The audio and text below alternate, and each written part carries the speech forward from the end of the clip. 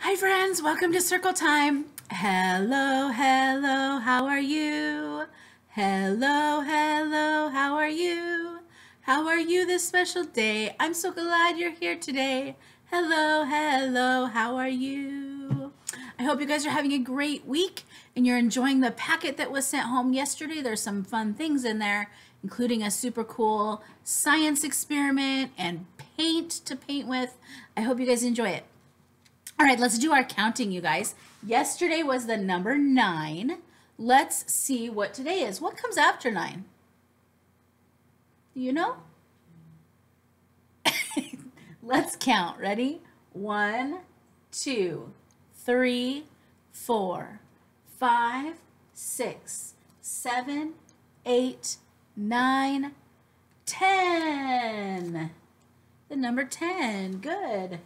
And let's do it in Spanish too. Uno, dos, tres, cuatro, cinco, seis, siete, ocho, nueve, diez. Good work. All right, friends, we are working on the letter, what letter?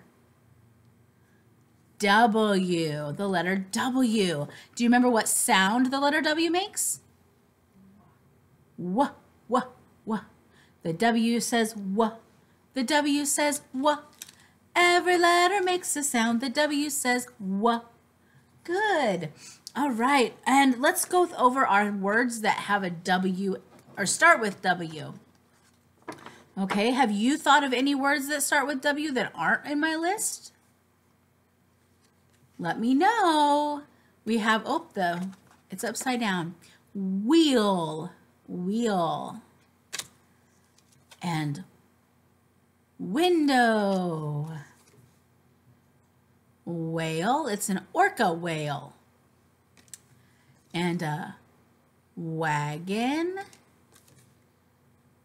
watermelon, and warm. All those things have the w, w sound at the beginning.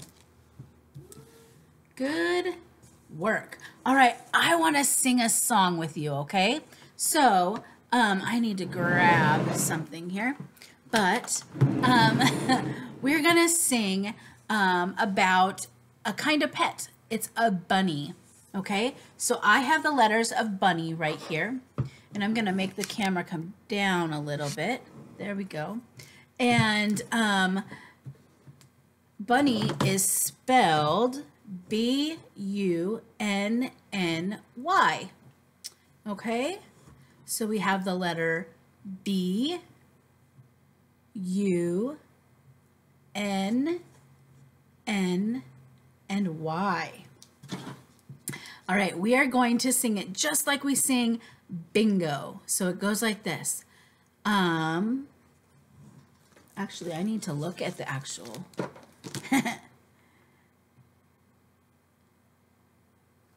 oh, it's right here. There was a rabbit I once knew, and Bunny was its name. Oh, B U N N Y, B U N N Y, B U N N Y, and Bunny is its name. Oh, all right. When we sing it through once, we have to turn over the first letter. What letter is this again? B. That's right. So we're going to turn over the letter B and we're going to clap instead of saying the letter B, okay? How many times are we going to clap? Once. There there is a rabbit I once knew and Bunny is its name. Oh, U N N Y. U N N Y.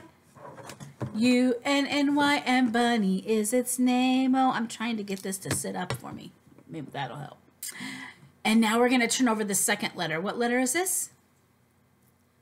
U, the letter U. We're going to turn that over and we're going to clap one, two times, okay?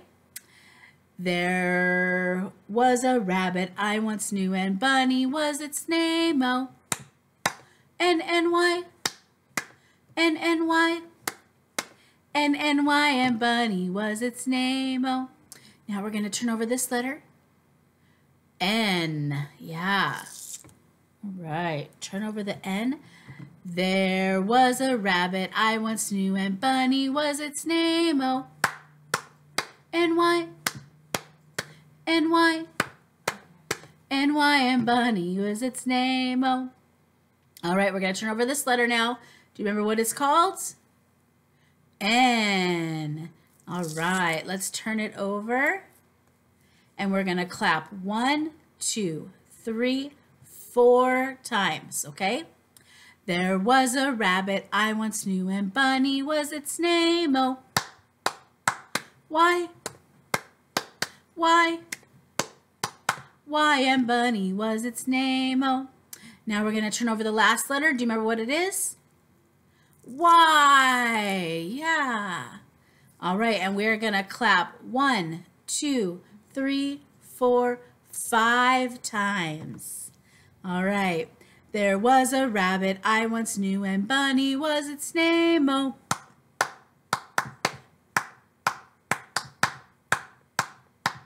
And Bunny was its name. Oh. Good. I like singing songs like that. All right, friends, we are going to read a book now.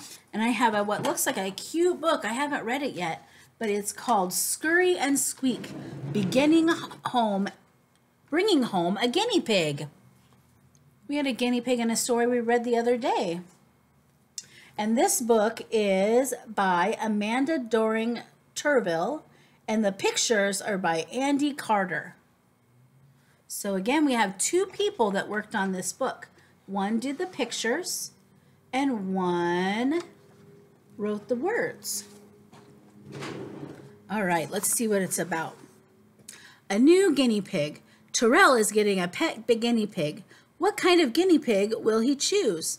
Will it be a baby or an adult? What color will it be? Will it have long hair or short hair? This says there's a tip. Long haired guinea pigs need regular brushing and trimming. If you don't have time to grow your to groom your guinea pig, choose a medium or short haired guinea pig. Having a guinea pig is a lot of fun, but it is also a lot of work. Is Terrell ready? Do you think he's ready? Hmm. Choosing a guinea pig. Terrell is buying his guinea pig from a breeder. Some people buy guinea pigs from a pet store or animal shelter. Guinea pigs are happiest around other guinea pigs. If you can, get two females or two males right away. Male and female guinea pigs should not live in the same cage. Guinea pigs bought at a different time should not live in the same cage either. Hmm. Terrell makes sure the guinea pigs he pick the guinea pig he picks is healthy. A healthy guinea pig is active and curious. His eyes are bright uh, and clear. His hair is clean and dry with no bald patches. The animal should let someone hold it without too much fuss. Terrell names his new guinea pig Trixie. Terrell's new guinea pig is home, but she is a little scared. Everything is new to her. Terrell puts her in her cage. He gives her a day or two to get used to the new place. Terrell talks softly to his guinea pig and he gives her a treat. Once she eats out of his hand, Terrell picks her up. He holds her firmly against his chest with both hands and he makes sure to support her rump and back legs. So he supports her bottom and her legs. Terrell feeds his guinea pig special food he buys at the pet store. The food has vitamin C. Guinea pigs need vitamin C every day. That's like in an orange. Vitamin uh, there's vitamin C in an orange. Terrell also feeds his guinea pigs fruits and vegetables. An orange slice or a leaf of green, dark green cabbage is a nice treat. Terrell feeds his guinea pig once in the morning and once in the evening. This way, she has food to nibble on all day. Terrell gives his guinea pig fresh water with breakfast, and he uses a water bottle with a metal sipper tube. So the guinea pig can drink the water out of the little tube as it drips out. Terrell takes a shower each morning to clean up, but his guinea pig doesn't need a shower. She grooms herself. She licks or bites her hair and smooths and smooths it with her front feet. Every three months, Terrell helps his mom and dad bathe his guinea pig. Terrell gently brushes his guinea pig once a week, and he uses a small brush from the pet store. His parents clip the guinea pig's claws once a month.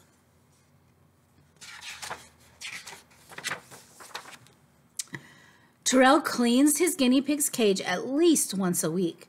First, he puts his guinea pig in an empty box. He asks his mom or dad to watch her.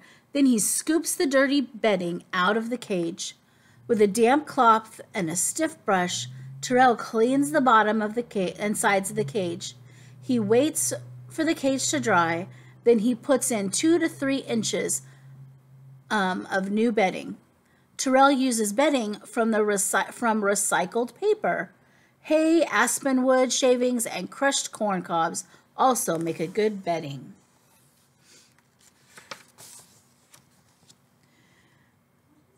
Guinea pigs need checkups just like people do. Shortly after getting his guinea pig, Terrell takes her to the veterinarian. They, the vet answers all of Terrell's questions about caring for his pet. Once a week, Terrell gives his guinea pig a checkup too. He makes sure that her eyes and nose and ears are clean. He makes sure her claws aren't too long, and he checks her hair for bald patches. Terrell keeps his guinea pig cage in his room, and the cage is away from doors and windows that could let in cold air. Guinea pigs are generally quiet animals, and they sleep at night. Terrell hears his guinea pig move in her cage the first few nights, but he gets used to it very soon.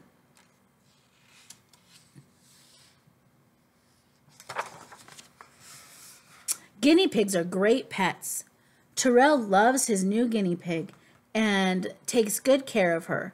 Having a healthy, happy friend for five to eight years is worth the hard work. And then this talks about the guinea pig's ears and eyes and where their whiskers are, their teeth, their tail, and their toes. Lots more information. There's other little bits of information in the book too um, for people that are getting a brand new guinea pig and they might need some more help or information about their guinea pig. Um, okay, so friends, that's our story time for today or our circle time for today. I'll see you again tomorrow, okay? Goodbye, friends. Goodbye, friends. Goodbye, friends. It's time to say goodbye. Bye, guys.